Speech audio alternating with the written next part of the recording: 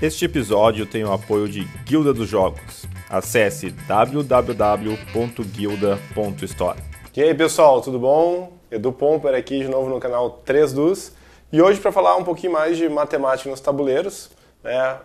pegando sugestões do vídeo passado que foi sobre quartz, continuando nessa batida da probabilidade, eu vou falar um pouquinho da probabilidade do Catan, né? Quem sabe aí o Catan tem uma probabilidade bem junto da estratégia. Tu tem que levar em conta a probabilidade para montar a tua estratégia dentro do jogo.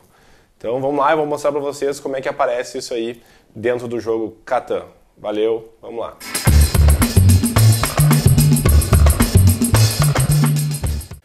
Então, pessoal, eu puxei aqui a, da outro, do, do outro vídeo, né? Só essa parte de probabilidade, para quem não viu o vídeo, saber mais ou menos o que está falando. Quem não viu, eu convido a voltar lá no Quartz que eu explico isso aqui mais detalhadamente. Então, probabilidade basicamente é o nosso número de casos favoráveis, que é o que a gente quer que aconteça normalmente, pelo número de casos possíveis, tá? Casos possíveis aí é todas as possibilidades que a gente tem naquele evento.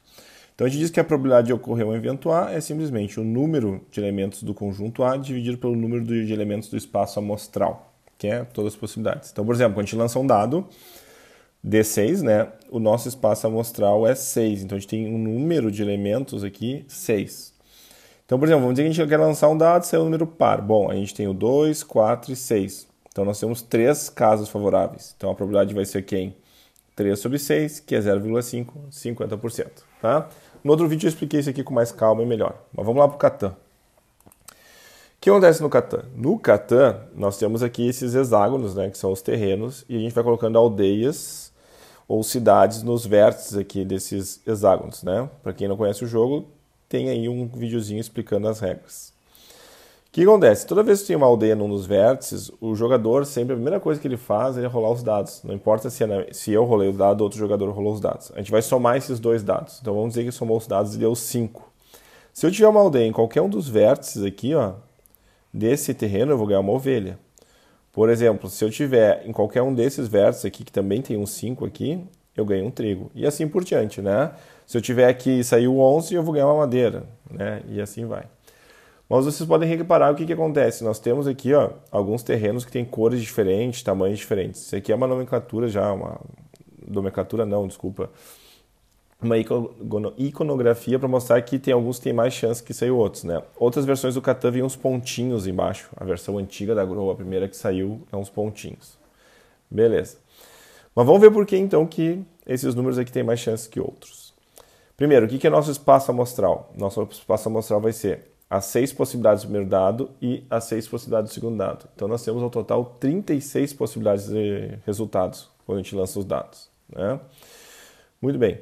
A primeira, uma das primeiras, ou melhor, se a gente for nomear, né, a primeira que a gente pode dizer é o 2. O 2 é simplesmente o quê? 1 um mais 1. Um. E é a única chance que tem de sair. O 3 tem 1 um mais 2 ou 2 mais 1. O 4, 1 mais 3, 3 mais 1 ou 2 mais 2. Repara que vai aumentando né, as possibilidades. O 5 já tem 1 mais 4, 4 mais 1, 2 mais 3, 3 mais 2. O 6 aí já tem 1 mais 5, 5 mais 1, 2 mais 4, 4 mais 2 e 3 mais 3. O que mais tem é o 7, que é do ladrão. Ó. Ele vai ter todas as possibilidades. 1 mais 6, 6 mais 1, 2 mais 5, 5 mais 2, 3 mais 4 e 4 mais 3. Tá? Agora a gente pode olhar, vamos olhar de novo de agora do mais alto para o mais baixo, vamos lá para o 12. Ó. O 12 também, ó, 6 mais 6, só tem uma possibilidade, assim como 1. Desculpa, como o 2. O 11 tem 6 mais 5 e 5 mais 6. O 10 tem 6 mais 4, 4 mais 6 e 5 mais 5. O 9 tem 5 mais 4 e 4 mais 5, 6 mais 13 e 3 mais 6. E o 8 tem 6 mais 2, 2 mais 6, 5 mais 3, 3 mais 5 e 4 mais 4. Repara que é a mesma coisa que um 6. Né? Então, se a gente for olhar agora, a gente pode olhar para essas probabilidades aqui. Ó. A, o número 2, tá? A possibilidade, o evento de ocorrer o 2. A gente tem só uma possibilidade, tá? Eu chamei de N aqui por causa de número, tá? Então a gente tem só uma possibilidade. Então é 1 em 36 que dá 3%, tanto para o 1 como para o 12. Quando a gente puxar o 13 e o 11, nós temos duas possibilidades, como a gente viu. Então a gente tem 2 em 36, que é 6%. Obviamente dobra do um para o outro. O 4 e o 10, nós temos três possibilidades. 3 sobre 36, 8%. O 5 nós temos quatro possibilidades. né? Então, 4 sobre 36, 11%. E o 6 e o 8, né, que são os que mais têm chance aí dos que estão no tabuleiro, é 5 e 36, que dá o quê? 14%. E o que mais tem chance é o 7. Nós temos 6 possibilidades, que 6 sobre 36, 36, desculpa, 17%. Se tu somar tudo isso, tu vai dar 100%, e se tu somar esses valorizinhos aqui, tu também vai ver que dá os 36.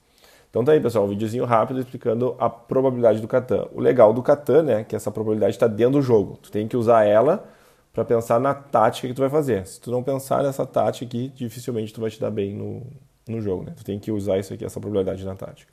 Valeu, pessoal, até mais um vídeo. Abraços.